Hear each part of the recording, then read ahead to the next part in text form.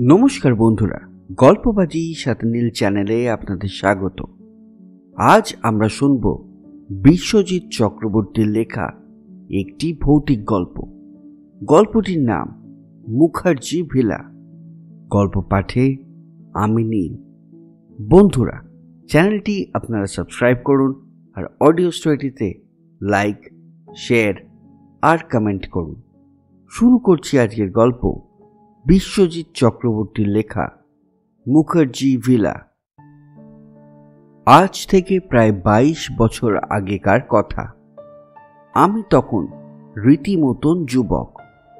BCom final দিয়েছি। হাতেও কোনো কাজ নেই। সময় পেলেই এদিকে ওদিকে ঘুরে বেড়াই। হঠাৎই ঠিক করলাম, দিশের গড় যাব।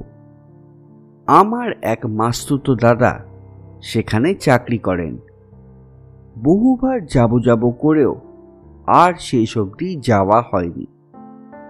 একবার ভাবলাম, তবে ঘুরেই আসি।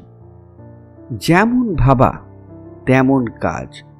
এক শীতের সকালে আমার ঝোলায় কিছু জিনিসপত্র নিয়ে রওনা হলাম দিশের গড়ের দিকে। দিশের গড় জায়গাটা অদ্ভুত। এর একদিকে পুরুলিয়া জেলা। অন্যদিকে বিহার, যদিও দিশের গড় নিজে বর্ধমান জেলায় অবস্থিত। এখান থেকে পাঞ্চেত বাঁধ খুব কাছে। পাঞ্চেত পাহাড় তো এখান থেকেই দেখা যায়। দামোদর নদ, জেলাগুলো আর পশ্চিমবঙ্গ বিহারের মধ্যে বিভাজন রেখা টেনে দিয়েছে। ছোট ছোট আগাছার জঙ্গল আর ঝোপঝাড়ে ভর্তি মাঝে মাঝে পুরনো দিনের কিছু বাড়িঘর। সব মিলিয়ে কেমন যেন পুরনো দিনের গন্ধ ভরা।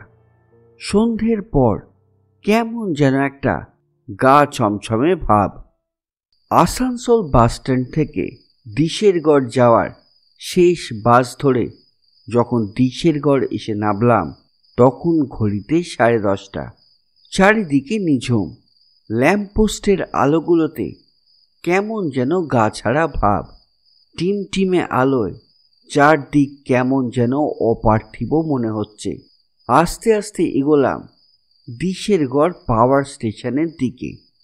অনিমেষদা এখানেই চাকরি করে। ভাবলাম এত রাতে আর রাস্তায় লোকজন পাবো কোথায়?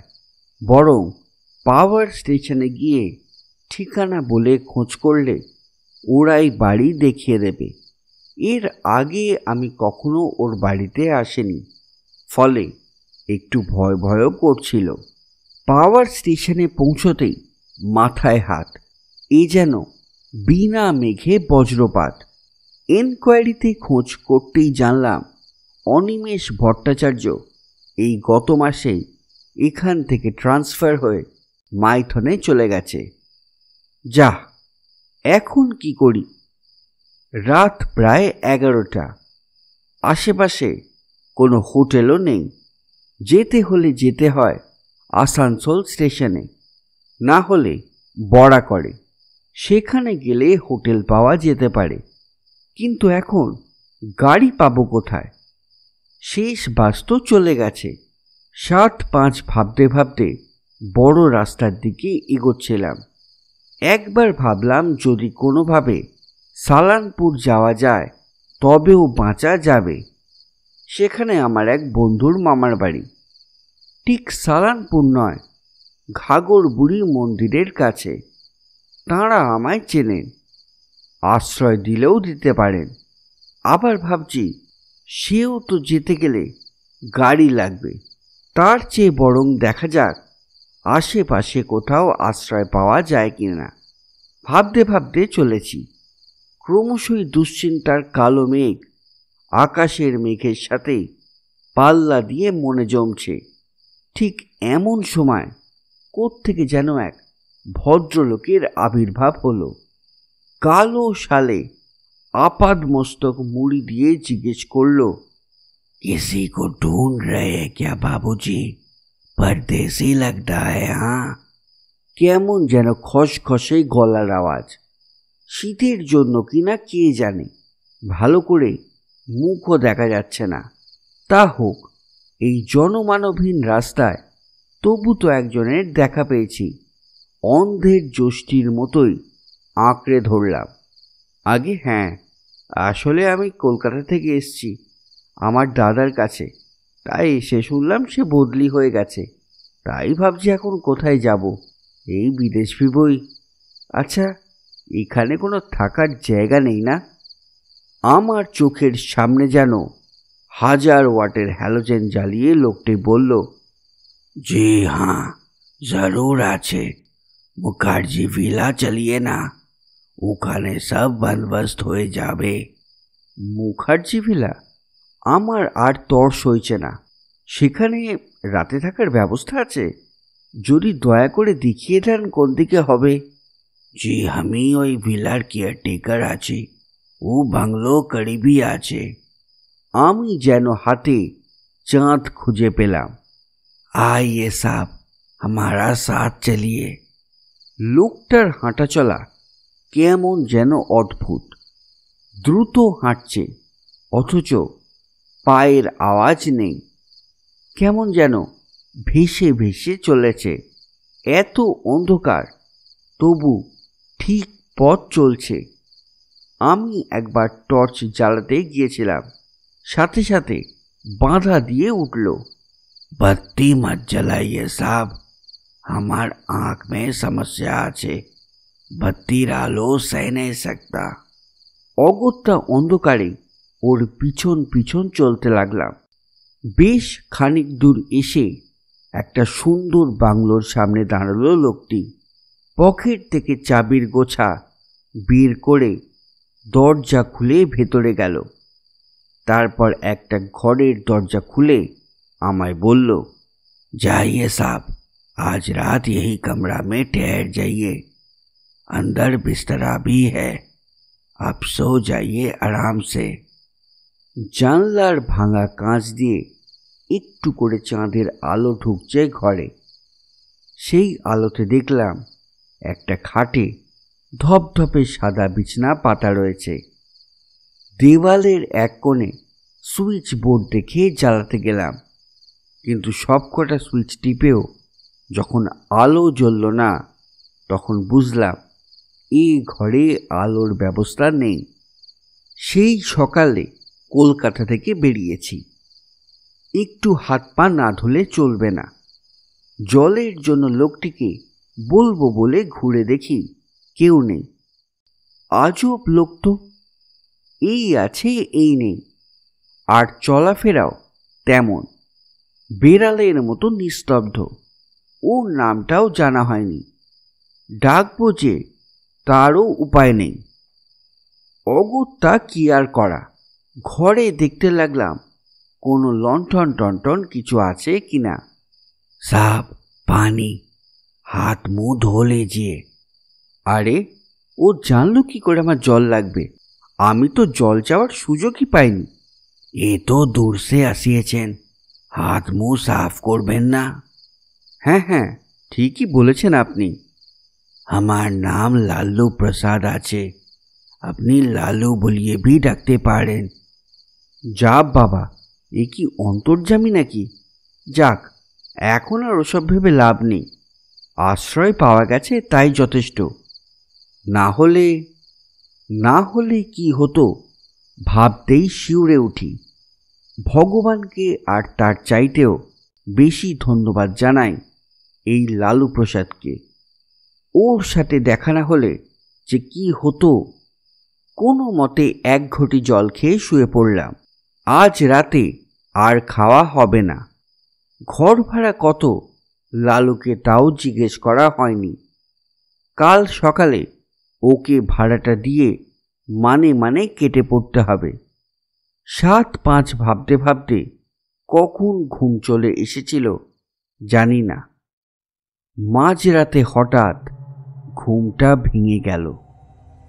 কোথায় যেন একটা অস্পষ্ট ঝগড়ার আওয়াজ আসছে। সাথে একটা মেয়েলি কান্নার আওয়াজ।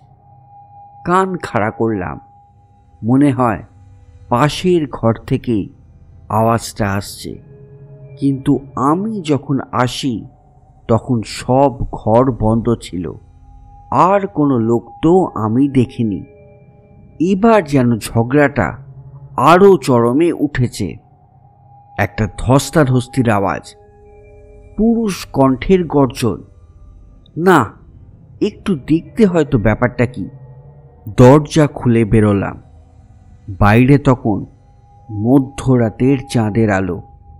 সেই আলোয় পাল্লা ভাঙা জানলা দিয়ে পরিষ্কার দেখলাম একজন পুরুষ গায়ে কালো শাল, একটা ছুরি দিয়ে একজন মহিলাকে এলো পাথারি কুপিয়ে চলেছে, ফিনকি দিয়ে রক্ত ছুটছে।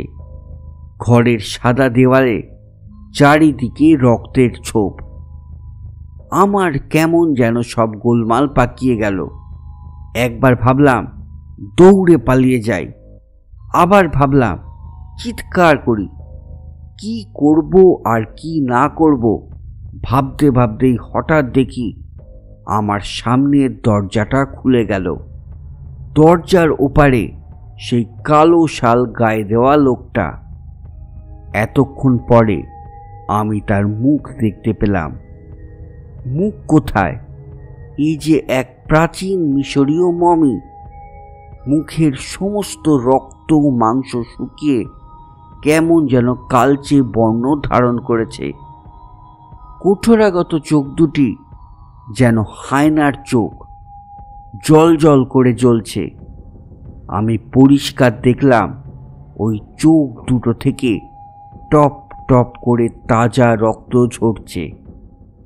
কেমন যেন একটা মাংস পচা গন্ধ চারদিকে। ঘরের ভেতর নজর যেতেই দেখতে পেলাম, যেখানে একজন রক্ত মাংসের মহিলাকে ছুরিকা হত হয়ে ছটফট করতে দেখেছি। সেখানে একটা কঙ্কাল পড়ে আছে। মানুষ কই? কিন্তু অদ্ভুত ব্যাপার, কঙ্কালটার হাড়ের শরীর থেকে তাজা রক্ত বেরিয়ে ঘর ভর্তি করে দিয়েছে। আমার চারদিকে যেন কয়েক হাজার হায়না একসঙ্গে হেসে উঠল। আমি পরিষ্কার শুনতে পাচ্ছি, হায়নাগুলো আমার দিকেই এগোচ্ছে। কি অপার্থিব সেই চিৎকার। সামনে সেই নরপিসাজটা এক দৃষ্টে আমার দিকে তাকিয়ে আছে। আমি আর সহ্য করতে পারলাম না। কোনো মতে দৌড়ে আমার ঘরে ঢুকে দরজা বন্ধ করে দিলাম। কিন্তু এ কি?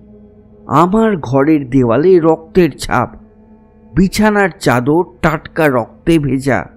আমার হাত দুটোর দিকে তাকাতেই ভয়ে শরীর হিম হয়ে গেল। আমার হাতে এত রক্ত এলো কোথা থেকে? বাইরে হায়নার ডাক তীব্র থেকে তীব্রতর হচ্ছে। কোনো মতে দরজা খুলে বেরিয়ে এসেই ছুটতে শুরু করলাম। আমার পিছনে তেড়ে আসছে কয়েক হাজার হিংস্র হয় না একটা শকুনের বাচ্চা কোথায় যেন এক নাগারে কেঁদে চলেছে। মাথার ওপর দিয়ে কটা চামচিকে উড়ে গেল। একটা হিমেল বাতাস আমার শরীরে রন্ধ্রে রন্ধ্রে কাঁপন ধরিয়ে দিয়ে গেল। আমি আর পারলাম না। এক সময় জ্ঞান হারিয়ে মাটিতে মুখ থুবড়ে পড়লাম। চোখে জলের ঝাপটা লাগতেই আমার জ্ঞান ফিরে এলো। কতক্ষণ অজ্ঞান ছিলাম জানি না, তবে এখন বেশ বেলা, চারদিকে রোদ্দুর। চোখ মেলতেই দেখতে পেলাম, আমার চারপাশে বেশ কিছু দেহাতি লোকের ভিড়। একটা গুঞ্জন, কে যেন আমার হাতে এক কাপ গরম ছাগলের দুধ ধরিয়ে দিয়ে গেল। আমি এদেরই একজনকে অস্ফুটে জিজ্ঞেস করলাম, আমি কোথায়? মুখার্জি ভিলা, লালু প্রসাদ, সব কোথায়? ওদের মধ্যেই যেন একটা ভয়ের রেশ ছড়িয়ে পড়ল। একজন বাঙালি ভদ্রলোক আমার পাশে বসে বললেন আপনি কাল চোর বাঁচা বেঁচে গেছেন দীর্ঘকালের মধ্যে আপনি প্রথম ব্যক্তি যিনি মুখার্জি ভিলার থেকে প্রাণ নিয়ে ফিরেছেন। ভাগ্যিস আপনি ঘরের মধ্যে না থেকে রাস্তায় বেরিয়েছিলেন। আর সম্ভবত আপনার বইতেই আপনাকে এই যাত্রায় বাঁচিয়ে দিয়েছে। ওদের কাছ থেকেই শুনলাম, প্রায় তিরিশ বছর আগে মুখার্জি সাহেব নামে এক বাঙালি ভদ্রলোক ওখানে এক সাহেবের কাছ থেকে ওই বাংলো কেনেন। মুখার্জি সাহেব নিজে থাকতেন কলকাতায়। এখানে বাংলো দেখাশোনা করত লালু প্রসাদ নামে একজন স্থানীয় দেহাতি মানুষ। মুখার্জি সাহেব বছরে দু একবার সপরিবারে এসে বাংলোতে থাকতেন। তিনিই নাম দিয়েছিলেন মুখার্জি ভিলা। লালু প্রসাদ সারাদিন হাঁড়িয়া খেত আর রোজ রাত্রে ওর বউ লক্ষ্মীর সঙ্গে ঝগড়া করত। এক এক দিন লক্ষ্মীকে মারধরও করত। এরকমই এক শীতের রাতে একদিন লালু প্রসাদ লক্ষ্মীর সঙ্গে ঝগড়া করতে করতে রাগের মাথায় এক প্রকাণ্ড ছুরি দিয়ে কুপিয়ে লক্ষ্মীকে খুন করে। খুন করার পরে ভয় পেয়ে হোক আর অনুশোচনাতেই হোক, সে নিজেও ঘরের সিলিং থেকে গলায় দড়ি দিয়ে ঝুলে আত্মহত্যা করে। এরপর একদিন মুখার্জি বাবুর ছেলে ওই বাংলোয় রাতে একা থাকতে গিয়ে ভয় পেয়ে মারা যায়। সেই থেকে ওই বাংলোর আশপাশ দিয়েও কেউ যায় না। মাঝে মাঝে যে কজন ওখানে সাহস করে রাত কাটাতে গেছে, তারা সকলেই অজ্ঞাত কারণে ভয় পেয়ে মারা গেছে। বাড়িটা পরিত্যক্ত অবস্থায় ভেঙে পড়ার দিন গুনছে। একমাত্র আমি প্রথম ব্যক্তি, সে যে কারণেই হোক না কেন মুখার্জি ভিলা থেকে প্রাণ নিয়ে ফিরতে পেরেছি। ঘটনা আজ থেকে বাইশ বছর আগের, তখন আমি যুবক ছিলাম। এখন আমি প্রৌঢ়, কিন্তু আজও কোনো ভিলা নাম লেখা বাড়ি দেখলে ভয় পাই। সেই ঘটনার স্মৃতি আজও আমার মনে দগদগে ঘায়ের মতো রয়ে গিয়েছে। বন্ধুরা, আজকের গল্পটি এখানেই শেষ। বন্ধুরা, চ্যানেলটি আপনারা সাবস্ক্রাইব করুন আর অডিও স্টোরিটিতে লাইক শেয়ার আর কমেন্ট করুন।